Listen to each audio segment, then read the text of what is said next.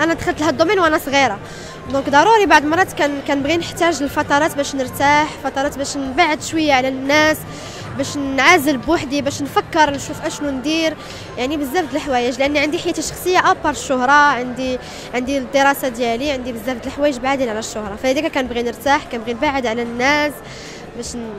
باش نرتاح مع راسي ونجلس مع راسي كيف ما كنقولوا. بالنسبة ما المسار الدراسي أنا قريت صحافة ما كملتش. من بعد قريت تصميم الأزياء.